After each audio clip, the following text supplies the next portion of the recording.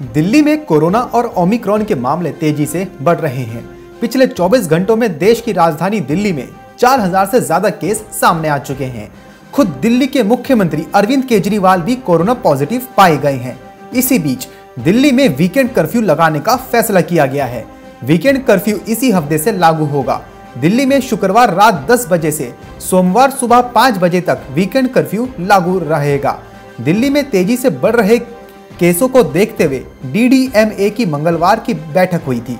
इस दौरान कोरोना संक्रमण को रोकने के लिए उठाए जाने वाले कदमों पर चर्चा भी हुई। बैठक के बाद डिप्टी सीएम मनीष सिसोदिया ने प्रेस कॉन्फ्रेंस कर वीकेंड कर्फ्यू के फैसले के बारे में जानकारी दी। इसके अलावा दिल्ली सरकार ने ये भी कदम उठाए हैं। जैसे कि मनीष सिसोदिया ने कहा है कि दिल्ली में वीकेंड पर कर्फ्यू रहेगा। लोग बाहर ना निकलें, सिर्फ़ ज़रूरी होने पर ही बाहर निकलें। सभी सरकारी दफ्तरों में ज़रूरी सेवाओं को छोड़कर बाकी कर्मचारियों को ऑनलाइन या वर्क फ्रॉम होम कराया जाएगा। प्राइवेट ऑफ़िस 50 फ़ीसदी वर्क फ्रॉम होम करेगा। बस स्टैंड पर भीड़ हो रही है। मेट्रो पर लंबी लाइनें लग रही हैं। ऐसे में बसों और मेट्रो पूरी क्षमता के साथ चलेंगी। लेकिन मास्क के बिना यात्रा करने की अनुमति नहीं होगी। दिल्ली में नाइट कर्फ्यू पहले से ही लागू हो रखा है।